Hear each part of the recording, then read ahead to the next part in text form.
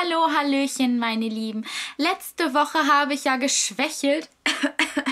Ich habe mich nicht geschafft aufzuraffen, irgendwas zu tun. Außerdem lief gefühlt den halben Tag Harry Potter, was die Sache nicht besser gemacht hat. Ja, ich saß den ganzen Tag vom Fernseher und habe mir Harry Potter reingezogen letztes Wochenende.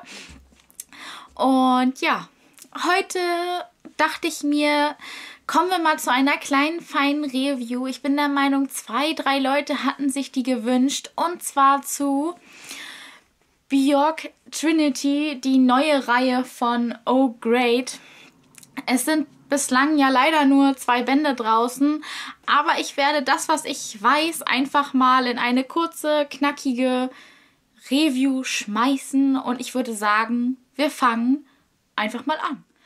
Bjork Trinity ist im Verlag Panini Manga erschienen und ein Band kostet leider Gottes Namen 7,99 Euro. Aber wie ihr ja alle wisst, Panini ist ja generell etwas teurer. Ich muss sagen, die Bände sind auch relativ dick. Und es lohnt sich auf jeden Fall auch storytechnisch. Ähm, genremäßig ist das Ganze Action, Science Fiction. Es hat einen gewissen Romance-Anteil und wird auch hier und da von etwas Humor begleitet. Also meiner Meinung nach eine Reihe, wovon jedem etwas vorhanden ist und mir persönlich gefällt sie wahnsinnig gut. Ich freue mich mega auf Band 3. Obwohl ich sagen muss, als ich das erste Mal hinten den Klappentext durchgelesen habe, habe ich mir gedacht, was zur Hölle. Aber ich wurde positiv überrascht. Besonders der zweite Band hat bei mir mega gepunktet.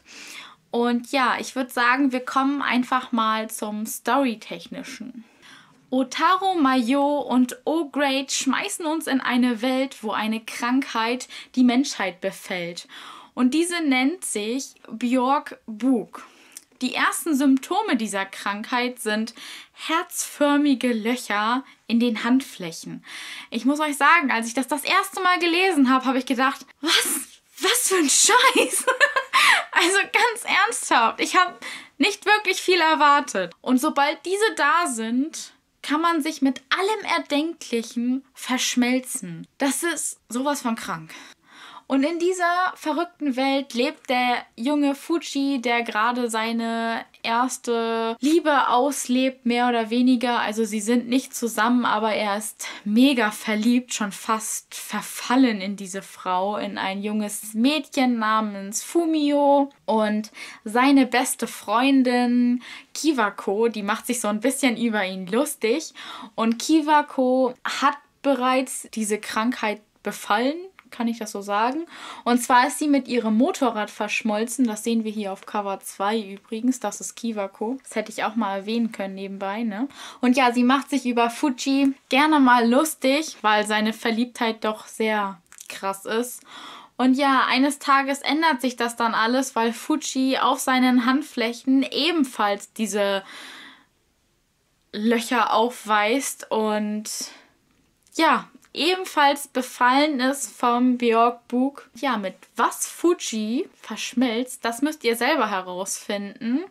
Ich meine, er ist ja gerade verliebt. Wer weiß, was das, so auf, was das so auf sich bringt. Und ja, ich kann euch ja mal ein bisschen vom Artwork noch zeigen. Aber ich gehe mal davon aus, dass das viele kennen werden. Ich zeige einfach mal die ersten Seiten aus dem ersten Band.